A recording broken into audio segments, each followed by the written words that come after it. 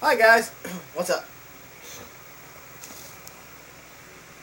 Remember, always think positive on anything, okay? Always think positive. If you think negative, nothing, nothing will come become a good thing. So always think positive if you want something good to happen. So, for example, if you lose something that you really care about, or somebody, whether it be a best friend, if you lose that person and you think negative, you ain't gonna get them back. It's just the way it is.